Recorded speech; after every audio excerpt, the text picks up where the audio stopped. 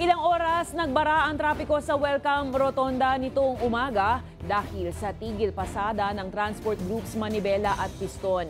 Pero hindi pinayagan ng mga pulis ang mga rallyista na tumulak patungong Malacanang. Si Ace Cruz may balitang A to Z. Sumalubong sa transport group na Manibela at Piston ang hanay ng mga pulis sa Welcome Rotonda nitong umaga.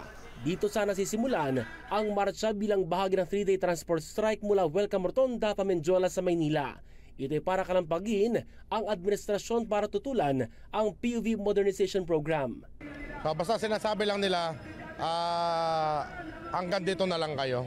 So walang malinaw na na sagot sa atin ang ah, mga kapulisan kung bakit ah, kung bakit ayaw tayong padaanin. Pero wala nang nagawa ang transport groups lalo't hindi naprubahan ng Manila LGU ang permit para makapagrally.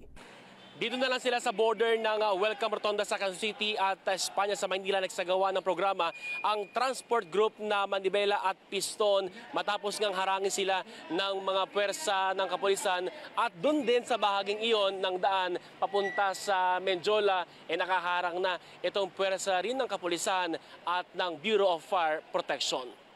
Kaya't dismayado ang transport groups.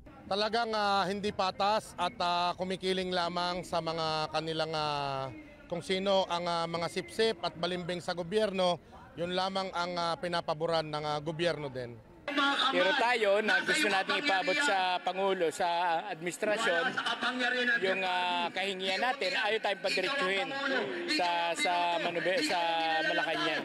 Makailang beses na nanindigan ng Pangulo at Department of Transportation na tuloy ang implementasyon ng PUV modernization sa kabila ng hirit na temporary suspension ng Senado para mapag-aralan pa ang programa. Talagang ano, talagang labanan to ng gitgitan eh. Kasi yung mismo yung uh, LTFRB eh, naka, nakaposisyon na dun sa iisang posisyon. Ayaw na niyan tingnan yung iba pang mga ah, kumikilos at ah, humihingi ng ah, paghaharap.